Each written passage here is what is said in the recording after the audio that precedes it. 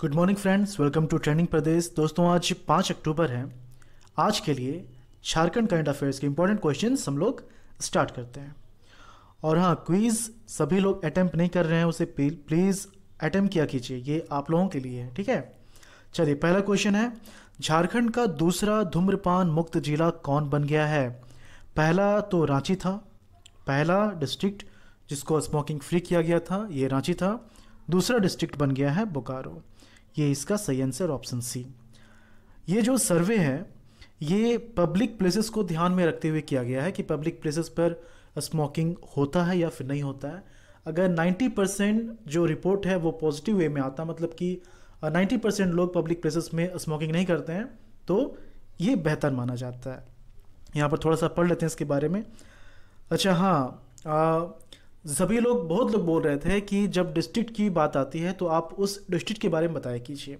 तो अब से बताया जाएगा और धीरे धीरे इसे थोड़ा और इम्प्रूव किया जाएगा। जैसे कि आप मैप देख रहे हैं यहाँ पर, ये बोकारो हो गया यहाँ पर। ये देखिए, ये बोकारो है, धनबाद से सटा हुआ। तो यहाँ पर ये आप जानिए कि ये जो है, इसकी जो बाउंड्री है, इसकी बाउंड्री अगर झारखंड के डिस्ट्रिक्ट की बात की जाए तो झारखंड में धनबाद, गिरिडीह, हजारीबाग और रामगढ़ से शेयर होता है, ओके? फिर से देख लीजिए, रामगढ़, हजारीबाग, धनबाद और ग्रेटी इससे इसकी बाउंड्री शेयर होती है। और अगर वहीं हम इंटर स्टेट में आ जाएँ तो वेस्ट बंगाल के साथ ये बाउंड्री शेयर करती है, ठीक है? तो ये तो हो गया बाउंड्री की बात। अब इसमें देखिए, बोकारो में बोकारो में टोटल दो सब डिवीज़न है, दो अनुमंडल है। और कौन कौन से वो दो अनुमंडल है? पहला है चास, यहाँ पर आप देख लीजिए, ये चास हो गया, ये पहला अनुमंडल है, और दूसरा है बेरमो, ठीक है? दूसरा है बेरमो, ये दो अनुमंडल है, सब डिवीज़न है। और अभी जो उपचुनाव होने वाला है तो बेरमो के ही विधायक थे राजेंद्र सिंह, जो कि कांग्रेस के लीडर थे, जिनकी मृत्यु के बाद सीट खाली होने पर उपचुनाव की घोषणा की गई है। तो एक तो बेरमो में चुनाव हो रहा है, दूसरा दुमका में चुनाव हो रहा है, ठीक है? तो ये दो अनुमंडल हैं बोकारो के, और वहीं अगर हम प्रखंड की बात करें तो प्रखंड जो है टोटल नौ हैं। आप यहाँ पर देख सकते हैं कितने? एक, दो, तीन, चार, पाँच, छः, सात, आठ, नौ। ये नौ जो है, ये ब्लॉक्स हैं प्रखंड है, ठीक है? और विधानसभा क्षेत्र जो है, विधानसभा क्षेत्र जो है, ये कितने हैं? ये टोटल चार हैं। कौन कौन से हैं? बोकारो, बेरमो, गोमिया और चंदन क्यारी और इस डिस्ट्रिक्ट से एक नेशनल हाईवे भी गुजरता है। कौन सा national highway? N H twenty three. ठीक है? N H twenty three. इसके बाद कुछ और जान लीजिए, जैसे कि इसका जो लिटरेसी रेट है, इसका जो लिटरेसी रेट है, वो कितना है? Seventy two point zero one percent. ये लिटरेसी रेट हो गया। इसके बाद इसका जो सेक्स रेशियो है, वो नाइन टू टू है। नौ सौ बाईस ओके और वहीं अगर हम क्षेत्रफल की बात करें तो लगभग अट्ठाईस सौ, लगभग अट्ठाईस सौ किलोमीटर स्क्वायर है ओके किलोमीटर स्क्वायर इसका एरिया हो गया। और जनसंख्या की बात करें तो बीस लाख बासठ हज़ार तीन सौ तीस इसकी जनसंख्या हो गई, जो कि 2011 के सेंसस के अकॉर्डिंग है। तो अभी इतनी जानकारी काफ़ी है, फ़िलहाल ये काफ़ी है। तो इसी तरह क्या किया जाएगा कि जब भी डिस्ट्रिक्ट का नाम आएगा तो डिस्ट्रिक्ट के बारे में बताया जाएगा और इसी तरह आप जब बार बार इन सब चीज़ों को सुनेंगे तो आपको ये सब चीज़ें आसानी से याद हो जाएगी। अलग से आपको याद करने की ज़रूरत नहीं पड़ेगी। ओके, चलिए, थोड़ा सा इसके बारे में जान लेते हैं, ये जो सर्वे है स्मोकिंग वाला। बोकारो ज़िले को धूम्रपान मुक्त जिला घोषित किया गया। इसके साथ ही बोकारो धूम्रपान मुक्त होने वाला झारखंड का दूसरा जिला बन गया है। रांची जिला को राज्य का पहला धूम्रपान मुक्त जिला घोषित किया गया है।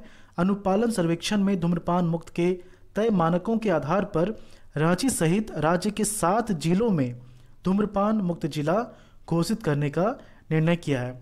तो अभी और डेटा आने वाले हैं, अभी और डिस्ट्रिक्ट के नाम आने वाले हैं। ओके तो बोकारो जिलों में बोकारो ज़िले में कोटपा की धारा चार के तहत तिरानवे दशमलव पाँच प्रतिशत धूम्रपान मुक्त पाया गया है, जो अन्य जिलों की तुलना में सबसे बेहतर है। 2016 से 17 से ही बोकारो को स्मोकिंग फ्री स्मोक फ्री जिला बनाने का अभियान चलाया जा रहा था। ठीक है? चलिए सेकंड क्वेश्चन देखते हैं। सेकंड क्वेश्चन है, अभी हाल ही में झारखंड के मंत्री हाजी हुसैन अंसारी का निधन हो गया। वे किस विधानसभा क्षेत्र से विधायक थे? तो देवघर डिस्ट्रिक्ट में एक कॉन्स्टिट्यूंसी है, मधुपुर। यहीं से ये बिलोंग करते थे। यही इनका विधानसभा क्षेत्र था। ओके चलिए, थोड़ा सा जानते हैं इनके बारे में। ये आप पिक्चर देख सकते हैं, हाजी हुसैन अंसारी जी की। देखिए झारखंड के अल्पसंख्यक कल्याण मंत्री हाजी हुसैन अंसारी का तीन अक्टूबर को निधन हो गया है। वे कोरोना से संक्रमित थे और राजधानी रांची के ओरमांझी स्थित मेदांता अस्पताल में उनका इलाज चल रहा था। 23 सितंबर को कोरोना पॉजिटिव पाए जाने के बाद हाजी हुसैन को इलाज के लिए अस्पताल में भर्ती कराया गया था। हाजी हुसैन देवघर ज़िले की मधुपुर विधानसभा क्षेत्र से विधायक थे। वे यहाँ से कई बार चुनाव जीत चुके हैं, ओके? तो स्टार्टिंग में वे कांग्रेस से राजनीति में आए थे, लेकिन बाद में इन्होंने झारखंड मुक्ति मोर्चा ज्वाइन कर लिया। ओके आप ये देख रहे हैं कि इस तरह से तीन सीट खाली हो गया है। एक तो आपका बेरमो, दूसरा दुमका है और ये मधुपुर। तो तीन सीट खाली है। अब धीरे धीरे देखिए, अगर इस, इन तीन सीटों को झारखंड मुक्ति मोर्चा या फिर कांग्रेस रिकवर नहीं कर पाती है तो झारखंड मुक्ति मोर्चा की जो सरकार है ये प्रॉब्लम में आ सकती है, ठीक है? क्योंकि अभी जो कोरोना संक्रमण का दौर है ना तो काफ़ी लोग इफेक्टेड हो रहे हैं। इवन पॉलिटिशियन भी इससे नहीं बच पा रहे हैं। चलिए, वो सब बातें बाद में करेंगे हम लोग। यहाँ पर करंट अफेयर की बात हो रही है। चलिए थर्ड क्वेश्चन है, झारखंड के कितने शहरों में पहले चरण में स्टेमी मतलब S T elevation myocardial infarction care project की शुरुआत की गई है? दो, चार छः आठ। तो इसका आंसर जो है छः छः शहर में इसकी शुरुआत की जा रही है। ये है क्या? इसके बारे में थोड़ा सा आप जान लीजिए। देखिए हार्ट अटैक किसी को आता है तो जो एक घंटे का समय होता है, वो काफ़ी इंपॉर्टेंट होता है। अगर एक घंटे में हार्ट अटैक का जो पेशेंट है, उसको इलाज मिल गया तो काफ़ी ज़्यादा चांसेस होते हैं कि वो ठीक हो जाए। लेकिन उसके बाद यही काफ़ी रिस्क जो है, काफ़ी ज़्यादा बढ़ जाता है। यहाँ पर देखिए, झारखंड राज्य में हार्ट अटैक के मरीजों को त्वरित चिकित्सा उपलब्ध कराने के उद्देश्य से सरकार के द्वारा स्टेमी केयर प्रोजेक्ट लागू किया गया है। हार्ट अटैक के मरीजों के लिए एक घंटे का समय गोल्डन आवर होता है। इस एक घंटे में यदि मरीज़ को इलाज मिल जाए तो 90 प्रतिशत मरीजों की जान बचाई जा सकती है। इसी उद्देश्य से सरकार ने राज्य में स्टेमी केयर प्रोजेक्ट लागू किया है। अब देखिए, ये जो है, फ़िलहाल इसे रांची समेत छः जिलों में इसकी शुरुआत की जा रही है। और छः ज़िले कौन कौन से हैं? एक तो रांची हो गया फिर उसके बाद हजारीबाग, खूंटी, गुमला, लोहरदगा और रामगढ़, ठीक है? इसके बाद सेकेंड स्टेज में जमशेदपुर को भी इसमें शामिल किया जाएगा, ओके? अब यहाँ पर देखिए, इसके लिए रिम्स के कार्डियोलॉजी विभाग को हब सेंटर बनाया गया है, जहाँ पर मरीजों को उपचार की सुविधा मिलेगी। अब यहाँ पर इंपॉर्टेंट क्वेश्चन बनता है कि अस्टेमी केयर प्रोजेक्ट है क्या? देखिए, इतना सारा एक्सप्लेनेशन डिटेल होता है, इसीलिए वीडियो थोड़ा सा लंबा हो जाता है। अगर छः क्वेश्चन का सिर्फ़ आंसर बताया जाए तो दो तीन मिनट लगेंगे वीडियो को बनाने में, लेकिन क्या है कि सिर्फ़ क्वेश्चन का आंसर नहीं बताना है, काफ़ी सारी जानकारियाँ देनी हैं। और इसी तरह से एक्सप्लेनेशन को यहाँ पर लिखा जाता है कि बाद में जब आप इसको देखें तो जो अभी आप पढ़ रहे हैं, जो अभी आप सुन रहे हैं, इन सब चीज़ों को आसानी से रिकॉल कर लें, ठीक है? तो यहाँ पर देखिए क्वेश्चन बनता है कि स्टेमी केयर प्रोजेक्ट है क्या? तो इसके बारे में जान लीजिए। जैसे ही किसी व्यक्ति को सीने में दर्द या हार्ट अटैक के लक्षणों का पता चलेगा। वह 108 नंबर पे कॉल करके एंबुलेंस को बुलाएगा, ठीक है? एंबुलेंस में ही मरीज़ की ईसीजी जाँच की जाएगी। इसके लिए एंबुलेंस में भी अस्टेमी किट लगाए जा रहे हैं। ईसीजी होते ही वह क्लाउड स्टोरेज में चला जाएगा, जिसे हब सेंटर, जो कि फ़िलहाल रांची, रिम्स को बनाया गया है। तो रिम्स के डॉक्टर ईसीजी देखने के बाद अविलंब उसकी पहचान कर एंबुलेंस को दिशा निर्देश देंगे। मतलब कि एंबुलेंस में ही उनका जो इलाज है वो स्टार्ट हो जाएगा। ओके? मरीज़ यदि रिम्स से एक घंटे की दूरी पर होगा तो उसे अविलंब रिम्स लाया जाएगा। यदि रिम्स पहुँचने में ज़्यादा समय लगने की संभावना है तो उसे स्पोक सेंटर में ले जाया जाएगा, जहाँ हब सेंटर के निर्देश के आधार पर मरीज़ को थर्मोलिसिस के माध्यम से स्टेबलाइज किया जाएगा। तो काफ़ी अच्छा एक स्टेप लिया गया है झारखंड गवर्नमेंट के थ्रू ठीक है? चलिए फोर्थ क्वेश्चन देखते हैं। झारखंड की अदालतों में महिलाओं से संबंधित लंबित मामलों में कितने फ़ीसदी मामले दहेज प्रताड़ना को लेकर है? दहेज प्रताड़ना से जुड़े हुए हैं। ऑप्शन चालीस इक्यावन बावन पचास। तो ऑप्शन डी जो है पचास प्रतिशत महिलाओं के जितने भी आ, मामले हैं उनमें से पचास प्रतिशत जो है वो दहेज प्रताड़ना से जुड़े हुए हैं। चलिए इसके बारे में और जानते हैं। राज्य की अदालतों में महिलाओं से जुड़े। देखिए टोटल जो है तीन लाख सड़सठ हज़ार सात सौ चौवालीस। टोटल इतने मामले हैं। इसमें से महिलाओं के लिए एक लाख तेरह हज़ार नौ सौ दस मामले हैं।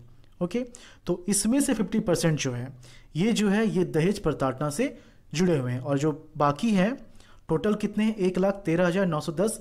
तो इसमें से क्या है? दुष्कर्म, यौन शोषण, घरेलू हिंसा और डायन बिसाही के नाम पर जो मारी जा रही है तो ये सब केसेस हैं, दहेज के भी केसेस इसी में हैं। तो दहेज की जो मांग है, दहेज की मांग को लेकर उनके साथ मारपीट और अन्य अत्याचार सबसे अधिक हो रहे हैं। महिलाओं से संबंधित लंबित मामलों में 50 फ़ीसदी दहेज प्रताड़ना को लेकर है। दहेज के बाद दुष्कर्म और यौन शोषण के मामले भी हैं। राज्य में बाल विवाह की घटनाएँ अक्सर होती हैं, लेकिन बाल विवाह के जो मामले हैं, वो सिर्फ़ अभी जो फ़िलहाल हैं, पाँच लंबित हैं। ओके? राज्य की अदालतों में बाल विवाह के सिर्फ़ पाँच मामले ही लंबित हैं। सुप्रीम कोर्ट को यह जानकारी झारखंड सरकार के द्वारा उपलब्ध कराई गई है। सुप्रीम कोर्ट ने महिला उत्पीड़न से संबंधित एक जनहित याचिका पर सुनवाई करते हुए यह जानकारी मांगी थी। ओके, चलिए पांचवा क्वेश्चन है। नाबार्ड द्वारा झारखंड के कितने गाँवों में स्वच्छता साक्षरता अभियान चलाया जाएगा? तो ऑप्शंस क्या हैं? सौ, दो सौ, तीन सौ या फिर चार सौ तो इसका ऑप्शन ए जो है हंड्रेड ये इसका सही आंसर है। इसके बारे में जानते हैं। नाबार्ड द्वारा झारखंड के 100 गाँवों में स्वच्छता साक्षरता अभियान चलाया जाएगा। महात्मा गांधी के एक सौ इक्यावनवीं जयंती के मौके पर नाबार्ड द्वारा प्रायोजित स्वच्छता साक्षरता अभियान का शुभारंभ नाबार्ड के देवघर और जामताड़ा क्षेत्र में किया गया है।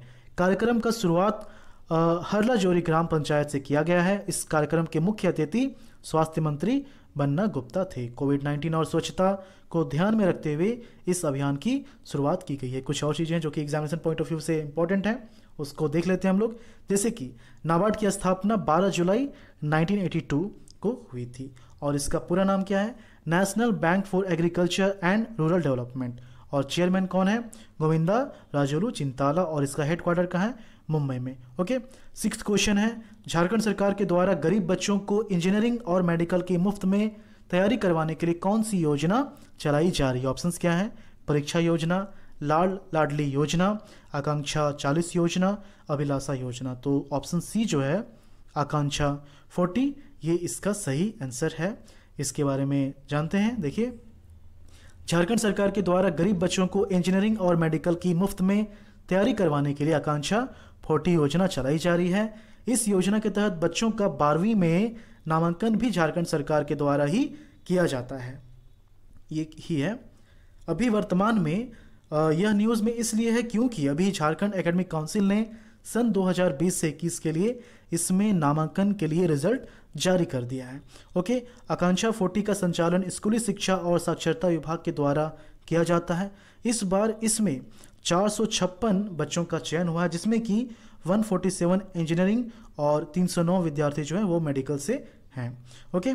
तो ये छः इंपॉर्टेंट क्वेश्चंस थे आज के लिए। लास्ट लेक्चर का जो क्वेश्चन उसे हम लोग देख लेते हैं। झालसा की कौन सी योजना के तहत जेल में बंद कैदियों के परिजन संपूर्ण सहायता पहुँचाने का काम किया जा रहा है? ऑप्शंस निष्ठा, सेवा, कर्तव्य, ज़िम्मेदारी। तो ऑप्शन सी जो है, कर्तव्य, ये इसका सही आंसर है। आ, कुछ लोगों ने निष्ठा भी बताया था ऑप्शन सी कर्तव्य इसका सही आंसर है। इसके बारे में थोड़ा सा जान लीजिए। जेल में बंद कैदियों के परिजन को झालसा की कर्तव्य योजना के तहत संपूर्ण सहायता पहुँचाने का काम जिला विधिक सेवा प्राधिकार सेवा प्राधिकार को सौंप दिया गया है। झालसा सॉरी डालसा ओके क्योंकि ये जिला वाला है ना डिस्ट्रिक्ट है। तो डालसा ऐसे लोगों की पहचान कर उन तक आवश्यक सुविधाएँ उपलब्ध कराने के साथ सरकार की लाभकारी और कल्याणकारी योजनाओं से जोड़ने का कार्य कर रही है। ओके यहाँ पर एक मिनट। हम्म, ठीक है चलिए। सेकेंड पॉइंट है इसका। बिरसा मुंडा केंद्रीय कारागार होटवार में बंद ऐसे 41 कैदियों की पहचान की गई है। ये सभी अपने परिवार का एकमात्र कमाऊ व्यक्ति हैं, लेकिन जेल जाने के बाद उसके परिवार की स्थिति दयनीय हो गई है। ओके, चलिए आज के लिए आपका क्वेश्चन है, Jharkhand renewable energy development agency के द्वारा किस योजना के तहत राज्य के तीन जिलों, हजारीबाग, गिरिडीह और गोड्डा के लाभुकों को सोलर पंप दिया जाएगा? ऑप्शंस, फूल, पुष्प कुसुम या फिर कुमकुम। तो आप अपने आंसर को कमेंट के थ्रू बताएँ और वीडियो अगर आपको अच्छा लगा तो प्लीज़ इसे आप लाइक कर दें अपने दोस्तों से। यदि आप इसे शेयर करते हैं तो ये हमारे लिए और भी अच्छी बात होगी कि क्योंकि जितने ज़्यादा लोग हमसे जुड़ेंगे, उतने ही ज़्यादा हम और भी अच्छे कंटेंट आपको दे पाएँगे, क्योंकि ये हमारे लिए मोटिवेशन का काम करता है। ओके अपना फीडबैक आप हमेशा इसी तरह कमेंट के थ्रू हमें देते रहें, क्योंकि आप जो डिमांड करते हैं, आपने देखा है कि कुछ लोगों ने कहा था कि जब डिस्ट्रिक्ट का नाम आता है तो आप मैप के बारे में बताइए, उसके बारे में डिटेल में इन्फॉर्मेशन दीजिए। तो आपने देखा कि इसे शामिल किया गया तो इस तरह से यदि आप मॉडिफिकेशन कुछ चाहते हैं, कुछ इंप्रूवमेंट चाहते हैं तो वो आप हमें कमेंट के थ्रू ही बता सकते हैं। ओके? चलिए मिलते हैं झारखंड के अगले वीडियो में। धन्यवाद।